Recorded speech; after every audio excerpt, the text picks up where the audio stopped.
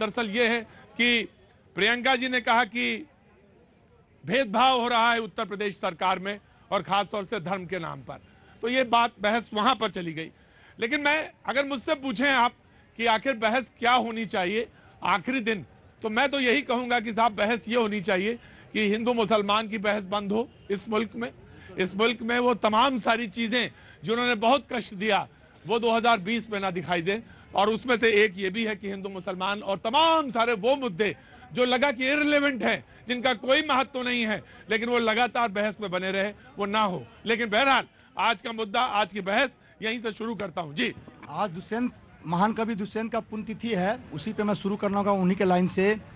आज ये दीवार पर्दों की तरह हिल रही है। आज ये दीवार पर्दों की तरह हिल रही है। शर्त लेकिन थी कि बुनियाद हिलनी चाहिए। हंगामा करना सिर्फ़ मकसद नहीं हमारा।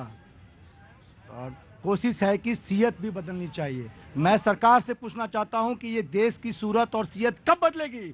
आप आप प्रियंका गांधी, यदि यूपी में कहीं जाना चाहती हैं, लखनऊ में कहीं मूव करना चाहती हैं तो आप कहते हैं कि प्रियंका गांधी एक रिटायर आईपीएस अधिकारी से मिल नहीं सकते हैं। राजनाथ सिंह कहते हैं कि एनपीआर ही एनआरसी का पहला कदम है। 2014 में नौ बार 2014 से 2019 में नौ बार पार्लियामेंट में कहा गया है। अमित शाह जी कहते हैं, नहीं नहीं नहीं। एनआरसी एनपीआर, एनआरसी का पहला कदम नहीं है। तो देश को आप क्यों गुमराह कर रहे हैं? देश को आप गुमराह क्यों कर रहे हैं, अमित शाह जी? जवाब देना होगा आपको। जी जी जी, मैं आया मैं आया, मैं मैं आया मैं आया। मैं एक चीज़ और चाहता हूँ 2020 में वो ये हो कि जनता भी आवाज़ कम करे, हल्ला मचाए कम, और मुद्दे की बात ज़्यादा बोले, मुद्दे की बात ज़्यादा बोले। जी जी। देखिए देश में 2019 में जो क्रांतिकारी फैसले लिए गए आपने जो बहस की शुरुआत की हिंदू मुस्लिम हाँ। उसके आधार पर देखिए कि मुस्लिम तुष्टीकरण के नाम से देश में 370 को जिस प्रकार से रोका गया था वो खत्म हो गया। कहीं कोई दिक्कत नहीं है देश में अमन चैन कायम है और कश्मीर में भी कायम है। सबसे बड़ा मुद्दा था राम मंदिर को लेकर के इतना बड़ा विषय था। आज शांति से हल हो रहा है देश के मुसलमान भी उसमें सहयोग कर रहे हैं। अब एक मुद्दा इनको मिला है एनआरसी, एनपीआर और सीए को लेकर भ्रम फैलाने का। आपने देखा कि प्रियंका जी के नहीं जाने का कितना दर्द है, इन झूठ फैलाने वाले बहरूपियों का, इनका, उनका पूरा का पूरा कच्चा चिट्ठा उस पुलिस साफ़ करके रख दिया आराम से ऋषि ऋषि आराम से। पूरे देश के सामने साफ़ करके रख दिया कि उनके साथ धक्का मुक्की हुई थी या नहीं हुई थी।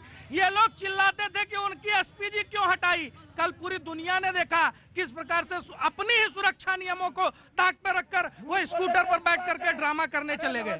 अरे जिन्होंने मैं पूछना चाहता हूँ आज प्रियंका जी ने राम कृष्ण और शिवाजी की बातें कर रही थी वो। अरे ये वही कांग्रेस वो, वो शिवाजी में बात नहीं कर सकते, सकती क्यों? नहीं है सुन लीजिए। क्यों नहीं अधिकार है अधिकार नहीं है क्योंकि ये वही लोग हैं जिन्होंने राम जी के अस्तित्व को नकार दिया हलफनामा देकर ये वही लोग थे ये वही लोग थे जो शिवाजी के अच्छा आप ही का कॉपीराइट है रामचंद्र जी पे नहीं है नहीं नहीं नहीं नहीं नहीं। अरे है ना सर है ना है। प्रभु श्री राम जब राम सेतु का मसला आया तो यही लोग हलफनामा दे रहे थे। कि राम राम जी का तो अस्तित्व नहीं है वो तो मिथक है। आज वो कांग्रेस को राम जी की याद आ रही है। पूरा का पूरा केवल सत्ता और कुर्सी हथियाने का खेल है। देश में इनके बहकावे में कोई नहीं आने वाला है। जी। आ गए मेरे भाई जय श्री राम आ गए जय श्री राम हाँ भगवान आप ही का सवाल से मैं जवाब देता हूँ। हाँ। भगवान श्री राम का नाम तो हर कोई ले सकता है। कोई ले सकता है? बिल्कुल ले सकता है पर जर्रे जर्रे में भगवान राम है। कन कण में भगवान श्री राम हाँ। पर पश्चाताप के बाद भगवान श्री राम का नाम ले तो उचित रहेगा। जैसे रावण मरते समय हाथ जोड़ के प्रभु श्री राम का नाम लेके माफ़ी मांगा था वैसे ही जिन लोगों ने भगवान श्री राम को काल्पनिक कहा था राम सेतु को तोड़ने की आदेश दी गए थे ही थे। और कहा गया था कि ये रामायण जो है वो काल्पनिक है। पश्चाताप करे, कान पकड़े और ऐसे करके माफ़ी मांगे, फिर सौ बार राम भजन करे, कोई आपत्ति नहीं है। अरे प्रियंका नेहरू वड्रा जी, आपके आसपास परिंदा भी उड़ नहीं सकता है, मक्खी भी नहीं आ सकता है। मजाल है उस महिला पुलिस कर, कर्मी की कि आपका गले पकड़ ले। अगर गले पकड़ा प्रियंका प्रियंका प्रियंका जी ने कहा कि मेरी सुरक्षा मुद्दा नहीं है। मैं कल क्या बोली थी मीडिया के सामने आके? देखिए, मेरे गले पे खरोच आ गया, गला दबा दिया गया।